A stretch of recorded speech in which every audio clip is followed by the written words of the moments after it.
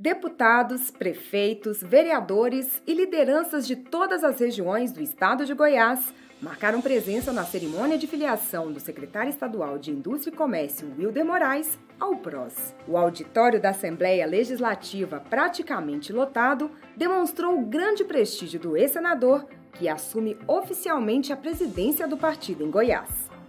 Eu queria convocar cada um de vocês, lideranças, prefeitos, vice-prefeitos, vereadores, secretário de Estado, venha para PROS. Vamos se filiar ao nosso partido. Vamos trabalhar para um Goiás melhor. Nós vamos ter candidato nos 246 municípios do nosso estado de Goiás e na nossa capital. Eu quero aqui reconhecer, Wilder, da minha alegria de saber que eu estou entregando essa presidência para você. Para você, que é uma pessoa que desde o começo, desde o primeiro momento, a identificação foi automática. Que graças a Deus, tudo que eu já te pedi até hoje nessa vida foi emenda e benefícios para os meus municípios. Eu sempre encontrei esse porto seguro. Sempre encontrei resposta para as minhas demandas no seu gabinete de senador e hoje, da mesma forma, no seu gabinete de secretário. Quero te dizer que você tem um amigo, uma pessoa que sonha os seus projetos.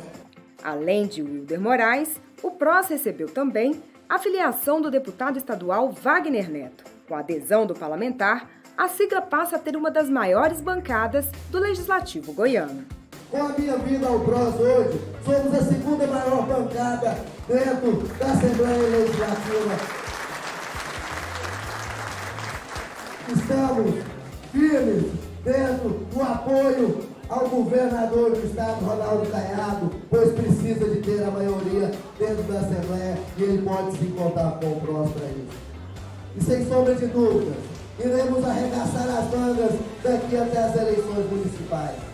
Tentar levar o PROS aos 246 municípios, lançando candidato a vereador e a prefeito. E se Deus quiser, em 2021, teremos o PROS como o maior partido em número de prefeito, em número de vereadores do estado de Goiás.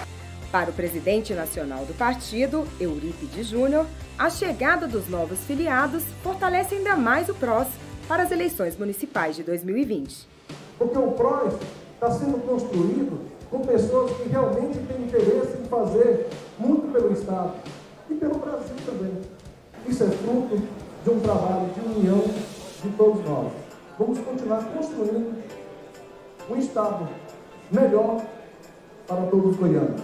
Agora, com o apoio do Hilder, com o vínculo governo e com o partido, que tem agora condições de ajudar os nossos candidatos, nós vamos fazer um número muito maior.